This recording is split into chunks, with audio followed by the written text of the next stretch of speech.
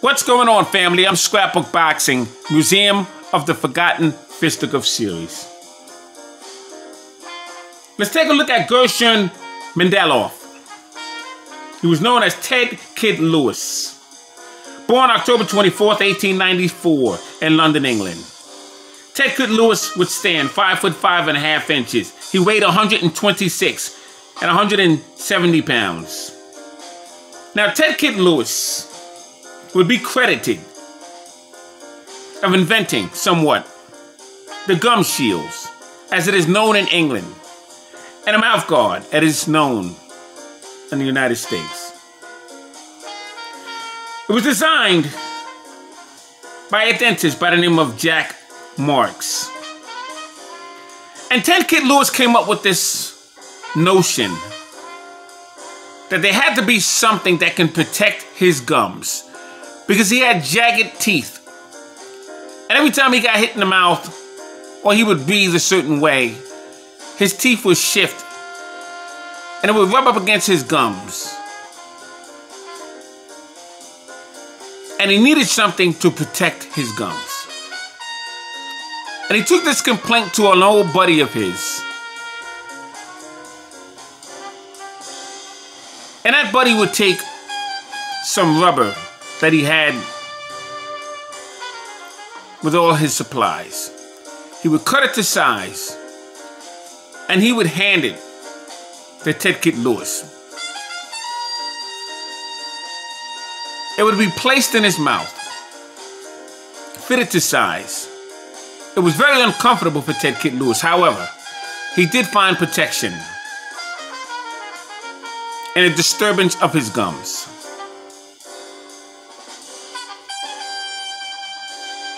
And this was something new in boxing. In fact, it was not legal. And Ted Kid Lewis would fuss with many of fighters, managers, and trainers. And eventually, doctors would find fit that it would be useful in a game of pugilism. 1902 is when this experiment would begin. 1913. Ted Lewis became more comfortable. In 1914, he would get his shot. You see, Ted Kid Lewis would spend a tremendous amount of time in Australia. But he would get a shot with Phil Bloom from New York. And they would have a bout in New York's Madison Square Garden. And he had to convince the authorities there. The purpose of his mouth guard, or gum shields, if you will, as it was known in London, England.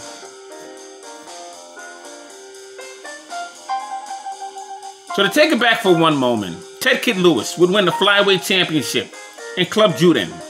1910, he turned professional at the age of 14 as a bantamweight. He retired with a record of 280 bouts, 170 wins, 70 knockouts, and he was stopped seven times. Now, when you look into the career deeply of Ted Kid Lewis,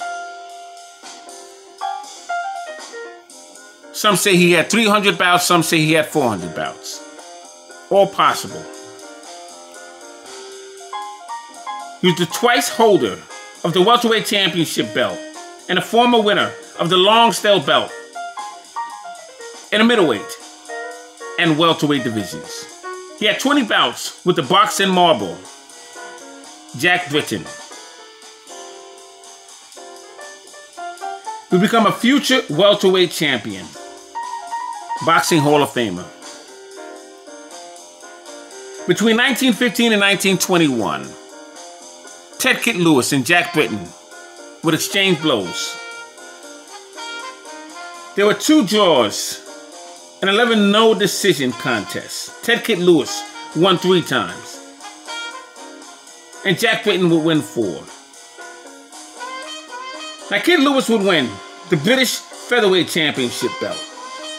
He would knock out Alec Lambert. Knocked him out in London, England in 17 rounds. And Ted Kid Lewis would win the European Featherweight Championship belt. February 2nd, 1914. He would win on a foul in 12 rounds over Paul Til. 12 bouts in 1913, 11 bouts in 1914, 21 bouts in 1915, 19 bouts in 1916, 27 bouts in 1917.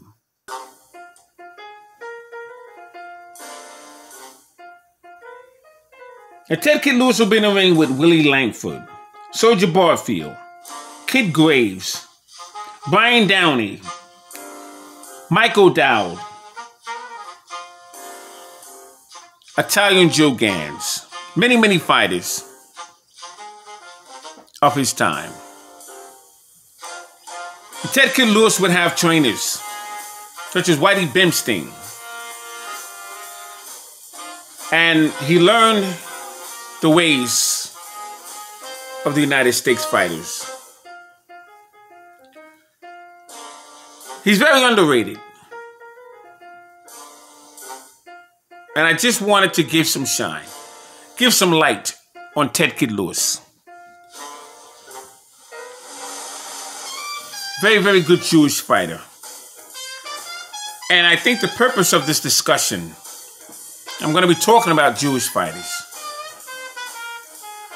There were many of them, great ones, to say the least. So shout out to Ted Kid Lewis as he contributed to the game of pugilism. He was concerned about his gums, and for that reason, we would have gum shields or mouth guards today.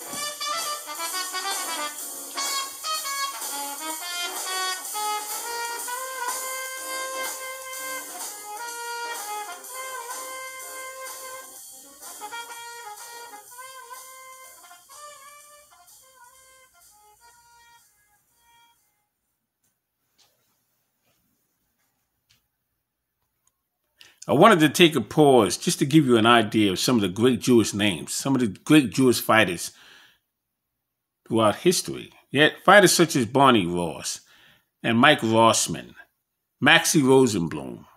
You had a fighter by the name of Newsboy Brown,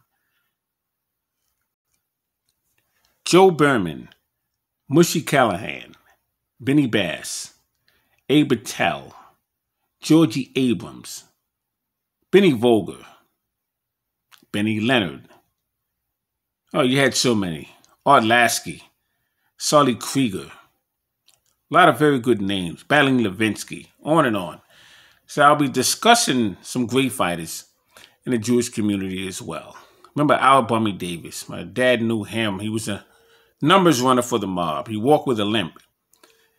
And he used to be in the bars and always tried to break up fights. He was something else but he was a very good fighter himself. Some scrapbook boxing, Museum of the Forgotten Fisticuffs series. All great fights and all great fighters would never be forgotten on my channel. Oh, Al Singer, Lou Tendler, Sid Terris, amazing.